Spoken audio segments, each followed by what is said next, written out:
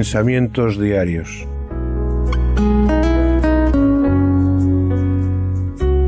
Sencillas pero profundas reflexiones para cada día de nuestras vidas.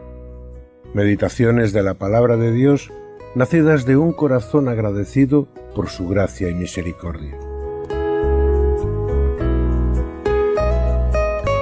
Pensamientos diarios.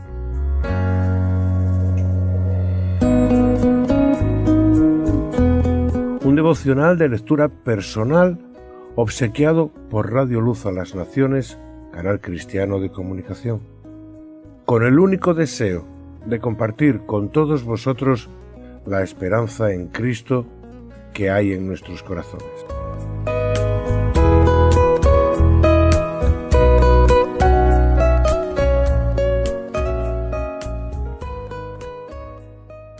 ¿Qué nos queda?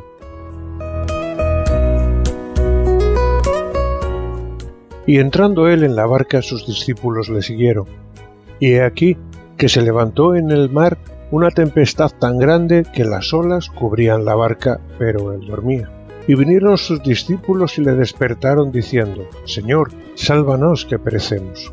Evangelio de Mateo, capítulo 8, versos 23 al 25. Todo en la vida se puede complicar, y de hecho sucede a menudo. Tan pronto lo que nos rodea, nuestras vidas, son un mar tranquilo y apacible en el que disfrutar de nuestro transitar por él, como de pronto esas suaves ondas que nos mecían, casi como acunándonos, se convierten en fieras olas que amenazan con devorarnos sin piedad, hundiéndonos en las más oscuras profundidades del olvido, no dejando de nosotros ni el recuerdo. Pero ¿qué hacer cuando todo se tambalee? ¿A qué aferrarnos que nos dé la seguridad de que eso no se hundirá, porque en esos tiempos vamos a ver como muchas de las cosas que en nuestras vidas parecían firmes se van a hundir. Cuando la tormenta arrecie, cuando las olas de la adversidad se levantan como murallas impidiéndonos ver el horizonte de la esperanza, ¿qué nos queda? ¿Dónde buscar refugio? En esos momentos solo nos queda un refugio, Jesucristo. El hombre suele tender a la autosuficiencia, algo que sin duda no deja de ser una fantasía, pues nadie en verdad es autosuficiente. Tal actitud no es más que un reflejo de nuestra propia soberbia, y es por esa autosuficiencia que el hombre pierde un tiempo precioso a la hora de atravesar las tormentas de esta vida, porque las dificultades, las tribulaciones, son inherentes a la propia vida, forman parte de ella. Pero nuestra actitud no suele ser la de reconocer nuestra incapacidad de hacer desaparecer las tempestades. En muchos casos pareciera como si conociésemos la salida a nuestras tribulaciones, y no le pedimos ayuda a aquel que sí que tiene el poder de calmar los vientos y aplacar las olas, esto es, a Jesucristo.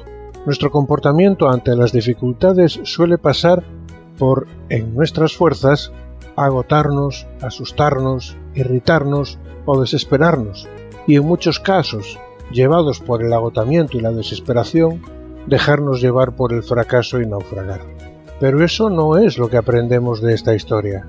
Lo que la Biblia nos está enseñando aquí es que en esos momentos en los que todo parece estar perdido, clamemos al Señor. Que en esos tiempos de tormenta y de dificultad acudamos al único que tiene el poder de calmar las tempestades, al único que el viento y el mar obedecen, a Jesucristo. Señor, sálvanos, que perecemos. 4. Son simplemente cuatro las palabras que pueden sacarte de esta situación que angustia tu alma. Y si me apuras, te diría que a Pedro le bastaron dos. Señor, sálvame. Estas palabras las puedes encontrar en el Evangelio de Mateo capítulo 14 verso 30. Pedro también se estaba viendo hundirse en medio de una situación que le superaba. ¿Cómo estás tú atravesando tus dificultades?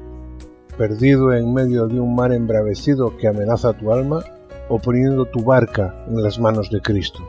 El rey David también sabía dónde encontrar su refugio. Si leemos el verso 9 del Salmo 9, leeremos, Jehová será refugio del pobre, refugio para el tiempo de angustia. ¿Cómo está tu barca? ¿Estás siendo zarandeada por las olas de la adversidad? ¿Estás viendo tambalearse los pilares de tu seguridad? ¿En qué lugar estás buscando refugio? ¿A quién estás acudiendo? ¿Con qué aliado cuentas para el día de la angustia? Si puedes comprender que Jesucristo es el mejor refugio, si pones tu confianza en el Dios de los cielos, Él te sostendrá y te sustentará, te hará conocer su poder y entonces sabrás, como supo el salmista, que el rey no se salva por la multitud del ejército, no escapa el valiente por la mucha fuerza, en vano para salvarse es el caballo, la grandeza de su fuerza a nadie podrá librar.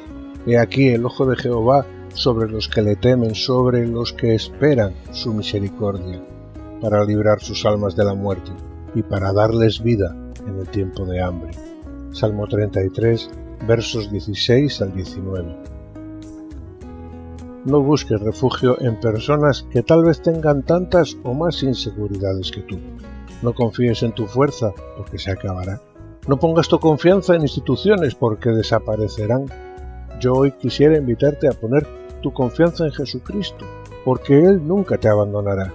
A no confiar en tus fuerzas, sino en el omnipotente poder de Dios, y a buscar tu refugio en la misericordia del Dios de toda misericordia, el cual envió a Jesucristo, porque Jesús vino a buscar y a salvar lo que se había perdido, a ti y a mí. Que Dios te bendiga.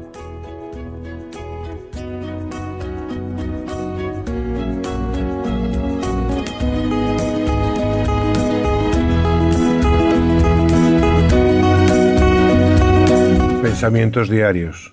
Meditando en la palabra de Dios. Santificad a Dios el Señor en vuestros corazones, y estad siempre preparados para presentar defensa con mansedumbre y reverencia ante todo el que demande razón de la esperanza que hay en vosotros.